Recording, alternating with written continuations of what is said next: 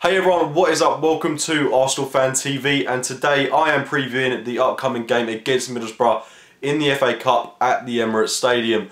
This game is going to be massive. Middlesbrough come into the fixture on the back of a 2-0 victory at the Etihad Stadium. They proved so many people wrong and it wasn't just the fact that they scraped by by two goals. They were so convincing in that game. They made a very good C defence look bang average. As well as that, they defended resiliently against the likes of Sergio Aguero. And they've shown that they're going to go into this game. They could potentially be ruthless. I don't want... They, they're going to get a bit between the teeth. That's what I'm trying to say. As well as that, they can play some very very good football. The last thing we want, uh, just let me get uh, address this first, let me get out of the way. The last thing we want is a replay in midweek. That would be absolutely horrible for us. It's just another opportunity for us to pick up injuries away from home to Middlesbrough at the other end of the country. It's going to be incredibly difficult for us to really cope with that, as well as the other fixtures that we've got. The Champions League is coming back into action now, and it's a vital stage in the Premier League for us when we're trying to get top four, competing with Tottenham Hotspur, Man United, Liverpool, etc. to get a top four finish.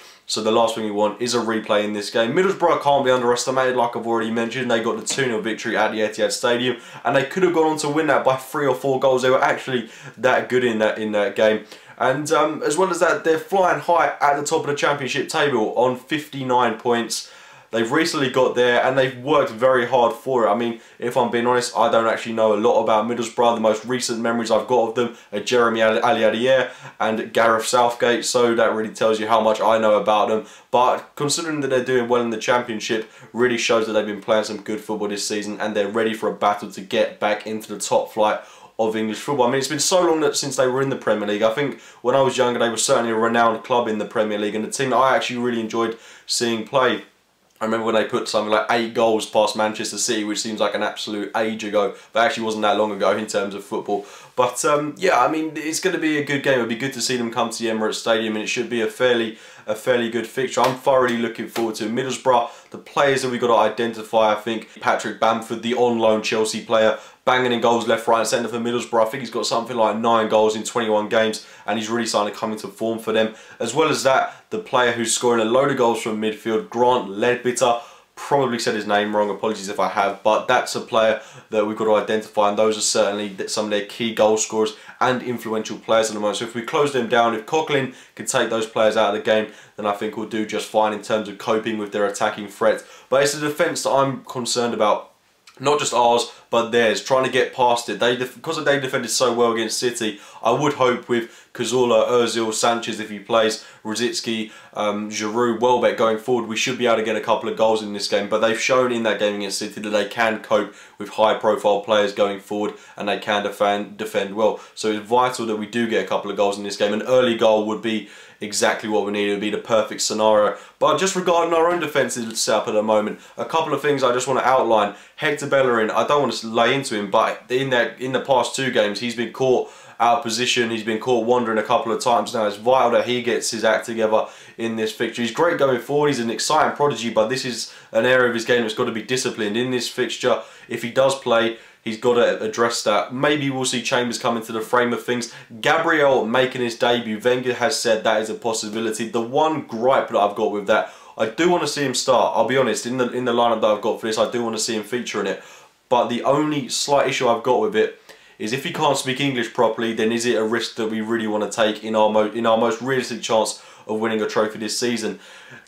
speaking English in a back line that's going to have to defend against, against decent attacking players, a side that's doing very well in the championship, it's it's a big big risk. I'd hope that he has some decent level of understanding and communication between the players that he'll be lining up with. But if he doesn't, then I personally wouldn't risk him. But like I say, Wenger obviously knows how he's performing in training and if he, if he thinks that he's ready to play then I'm going to trust his judgment in that. And like I've said I do want to see him put in the Arsenal 11 um, and I have got him in the 11 that I'm going to predict in a moment. As well as that Wojciech Szczesny a player that I haven't really talked about in the time that since he's been caught smoking at Southampton at the start of the year. I haven't really addressed the issue of him and Ospina coming into the team and playing really well. But the thing with it is Ospina's played so well, he's overshadowed Szczesny, but is he the number one at the moment? Yeah, he is, but Szczesny's the one wearing the number one jersey. I mean, that, that might not mean a lot to a lot of people, but he has cemented a place as the Arsenal first choice shot stopper for many, many years now. And we're starting to identify some uh, weaknesses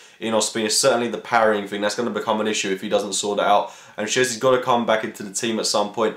In this game, I feel it's a very good opportunity for him, but he's got to take it. In the game against Brighton, where we won 3-2 away at the Amex, he wasn't convincing, I'll be brutally honest, and I didn't don't think he warranted a place to get back into the team for the following fixture, and Ospina rightly kept his place in the side. Szczesny was poor, he let in two sloppy goals, and he can't do that in this game. Of course, maybe he'll be a little bit rusty, he's not getting game time, but he's a professional keeper on a five-figure wage sum.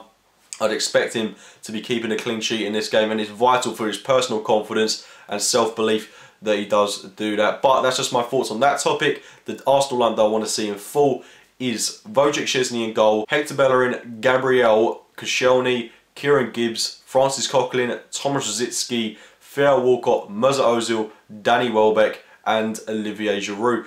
Now obviously the first thing that I've left out, Santi Cazorla, he's been playing so well for us, why have you dropped him? Well the first thing is I think he's becoming knackered first and foremost. I thought in that game against Leicester he was really failing to get involved in the game at times as well as that I think that the spaces he wants to get into are being occupied obviously by the return of Mesut Ozil and that's stuttering his play in the game so I wouldn't play Cazorla in this one I think if he is going to start he has to play without Mesut Ozil in the team. So that's one way you've got to look at it. Play Cazorla through the middle drop Ozil or play Ozil through, through the middle. Danny Welbeck on the left hand side another thing that's a little bit controversial in this if if Sanchez is fit and if he's ready to play, play him. But in the game against Leicester, he didn't look ready, he didn't look fit, and he was failing to have an impact on the game. So I'd go Danny Welbeck on the left-hand side. He's going to add pace and agility and stamina to that flank, and then we'll have Theo Walcott on the right-hand side. Loads of pace bombing forward. Olivier Giroud up top, hopefully to bang goals in. Or possibly Chuba Akpom starting. He's a player that has looked really exciting for us when he's whenever he's played for us. He got the penalty against Aston Villa, worked really hard for that, and he does overall look like a very exciting prodigy. And I would potentially like to see him start. I mean, a front three of Welbeck, Akpom and Walcott is something that excites me. Loads of pace bombing forward with Mesut Ozil playing in behind. He's got loads of off-the-ball runners and it should be an absolute field day for him. But, I mean, I just do just do want to address that Cazorla Ozil thing. I don't want to think of it as dropping Cazorla. I just want, if we're going to get the best out of these players, we've got to play them in their right positions or don't play them at all. Because when you play them out of position, in my eyes, it wastes the position. I think in the game against Aston Villa, it worked because we were playing against a poor, poor, poor Villa side. But this Boro team is going to be up for it. For them, this is their cup final. They're not going to go to many places like that, like uh, the Emirates this season, unless they get promoted, of course. But it, it is a massive game. One we must win. I don't particularly want too many risks to be taken. I would go with a very strong Arsenal lineup. Possibly bring Chambers into the side as well possibly for Hector Bellerin. But regarding Chambers, I think he plays a lot a lot better at centre half than um, than uh, at right back. And I don't really want to see a Chambers Gabriel partnership because of course Chambers is quite young. He's still gaining experience, and Gabriel isn't the most fluent in English, and I highly doubt that. Chambers can speak the language that um, Gabriel is accustomed with. So that's that's uh, that's the team I want to see. A, a lot of a little bit of rotation in the side. I want to see Kieran Gibbs come in for Nacho Monreal. Gibbs another player that's got to try and cement a place in the starting 11. And how great is it to finally have depth in the Arsenal team. It's something that we haven't really been used to as Arsenal fans, but now we've got a very good squad at our disposal. Jack Wilshere, didn't even mention him, forgot Jack Wilshere is coming back into the Arsenal team. He could possibly make the bench for this game. It would be great to see that. Of course, he's coming under controversy because he's been caught smoking yet again. He's really got to sort his act out, really got to decide if he's going to really take his football career seriously at some point. I want to see him do well at Arsenal. He's got to remain injury free. He's got to stop smoking and doing stupid things like that. And he's got to try and get in this Arsenal team. With Aaron Ramsey out of the side for up to two weeks to a month, he's got an opportunity to do that. I don't think he'll start this game, but if he makes the bench, it'll be good for his confidence. It shows that Wenger's putting faith in him, and hopefully in the coming weeks we will see a bit more from Jack Wilshere and a lot more from this Arsenal team. It was unconvincing against Leicester. The defeat to Spurs was unacceptable, and we've got to be putting things right with a big win against Middlesbrough. I'm hoping for a victory. I'll take it any way it comes really. I don't really care if it's a big win or not. As long as we get the win and we progress into the next round of the FA Cup, the trophy that we have to win this season.